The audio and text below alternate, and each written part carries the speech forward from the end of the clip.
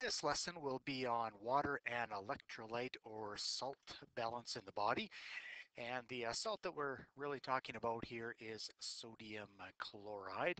And in fact, it's really just the sodium, the sodium ion that we're going to be concerned about in terms of the salt. So there's really just one way that you can get salt and water into your body, and that is going to be through your diet. Several different ways that you can lose both salt and water. You can lose both of them through your sweat, through your feces, through your urine, and the water you can also lose simply through the process of exhalation. The regulation of salt and water in your body is controlled by two different hormones. Both of these hormones are going to have an effect on the kidney tubules, and the two hormones that do regulate salt and water are respectively aldosterone and antidiuretic hormone, or ADH. This picture here is showing us a portion of the kidneys. It's showing us in yellow here a nephron or a representation of a nephron, and the rest of it is representing the blood. So what we do have is a significant amount of blood that does enter your kidneys and that blood that's entering your kidneys it is going to be filtered by the first portion of the nephron which is called Bowman's capsule and the very permeable blood vessels that are passing through the area of Bowman's capsule they are called the glomerulus.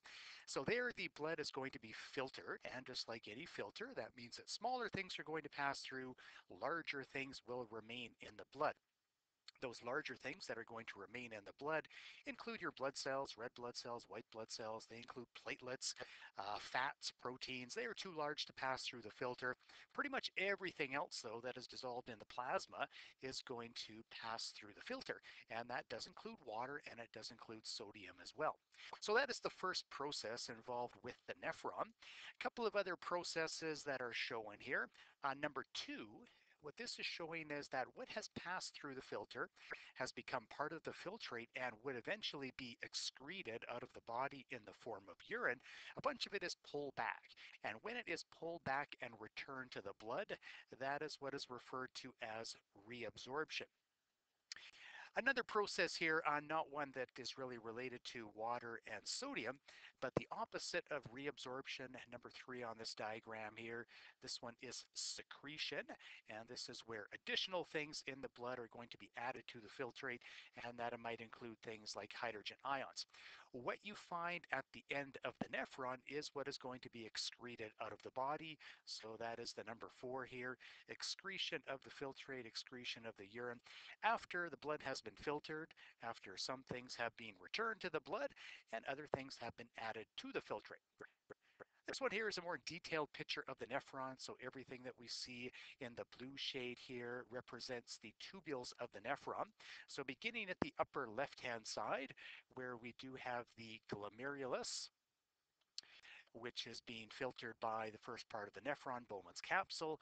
And then we have the various different parts of the nephron, the proximal tubule, the loop of Henle, the distal tubule, and the collecting duct. Eventually, this is going to end up in the renal pelvis, become part of the urine, go to the urinary bladder, and eventually be excreted from the body. So we can see at the left-hand side a list of all the different things that are in fact small enough to pass through the filter, pass through Bowman's capsule and become part of the filtrate. Again, the ones that we're focusing on here, the water and the salts, the sodium, part of the sodium chloride is what we're going to focus on.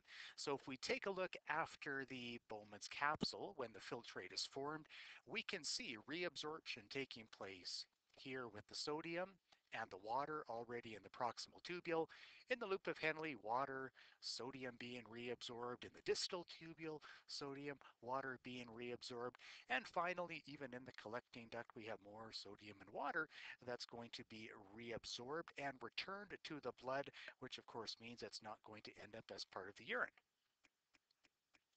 So if we take a look at the sodium first of all, the sodium is not just magically reabsorbed, it does need to have a hormonal signal, and that hormonal signal is going to be the aldosterone.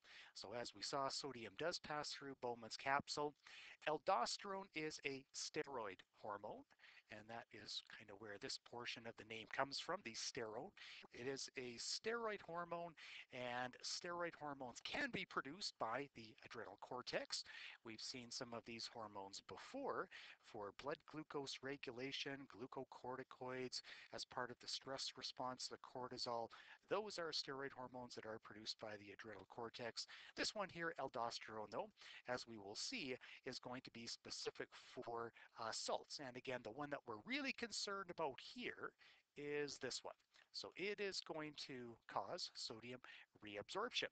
It is going to target the kidney tubules. It is going to make those tubules more permeable to the sodium so the sodium can be returned from or to the blood from the filtrate. So if there is not a sufficient amount of aldosterone being produced, well, that means that the sodium is not being reabsorbed. So there's going to be a large amount of that sodium that would be excreted in the form of the urine. Nice picture here showing um, a number of different things involved with the regulation of sodium.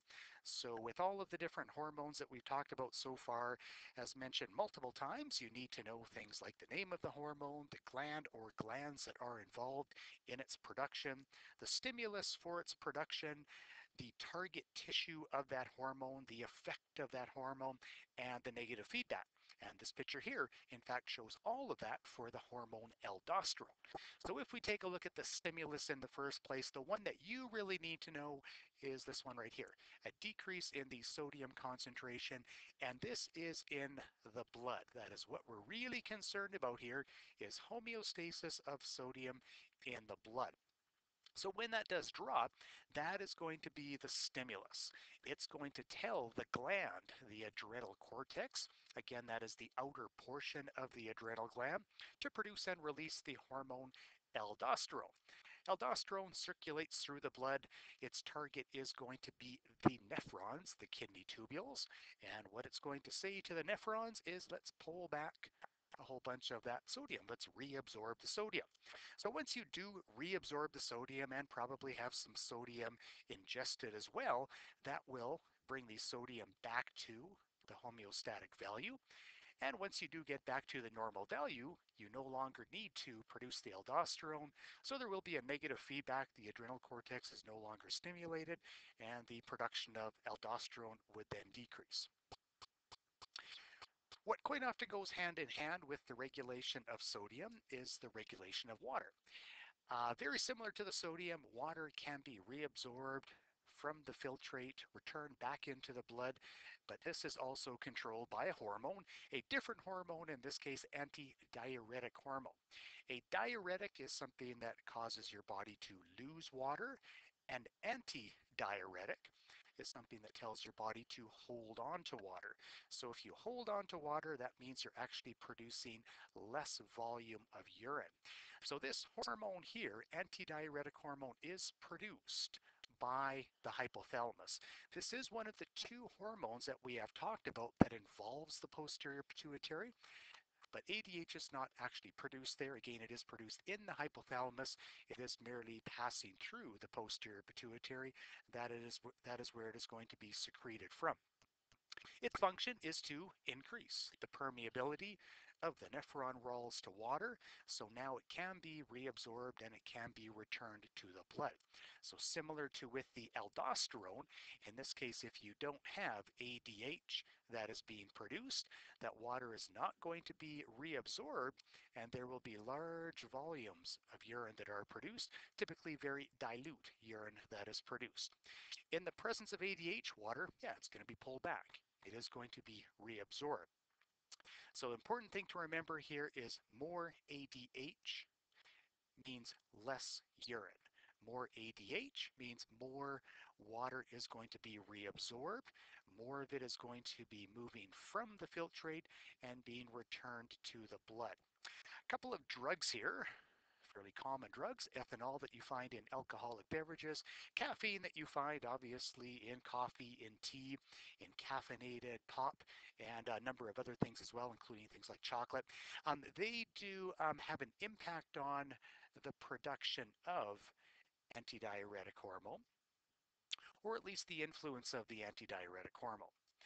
Uh, this condition here, diabetes insipidus, is a specific condition that does have to do with the ADH producing cells.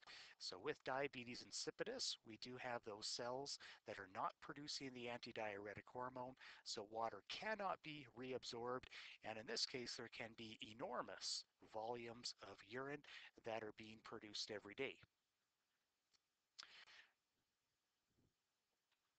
So we saw the feedback loop for the aldosterone, and this is kind of a similar one that we're taking a look at here for the antidiuretic hormone.